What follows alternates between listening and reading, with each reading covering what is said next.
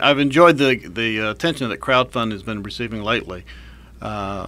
because I'm aware that in North Carolina's own tradition, it's been a very important role in our economic development. After the Civil War and the devastation that resulted from that, the state and its investors were really bereft of capital,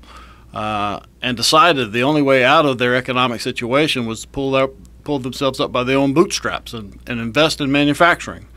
but there was a recognition that we lacked the institutions, the financial resources, and, and really the, the wealthy class to invest in, in, industrialization. So an alternative strategy was developed, and that was to pool capital from many small investors across North Carolina and build manufacturing plants, textile plants, tobacco plants, furniture plants that became really the economic center of the small towns that still dominate the North Carolina landscape.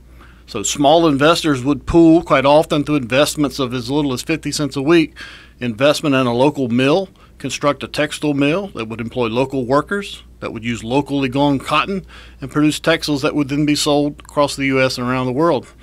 The result was that profits were being imported back into the state, back into the pockets of the many investors in these small towns. created the kind of wealth that has sustained many of them through some of the most recently uh, troubled economic times.